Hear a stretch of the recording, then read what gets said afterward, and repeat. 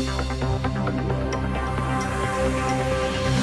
52 lavoratori della Becherta hanno costituito un comitato per dare mandato a Lega Coop Toscana di verificare la fattibilità della costituzione di una cooperativa di lavoro. Il progetto sarà sottoposto all'advisor e al Ministero dello Sviluppo Economico. La FIM CISL ha convocato per mercoledì 8 maggio un'assemblea dei lavoratori Beckert per fare il punto della situazione, i temi più caldi, la reindustrializzazione a rilento e alcune irregolarità nel pagamento della cassa integrazione. Un milione di euro per la ristrutturazione totale del palazzetto dello sport di Montevarchi, finanziati in parte dalla regione e in parte da un gestore settore privato di energia elettrica entro fine legislatura il taglio del nastro.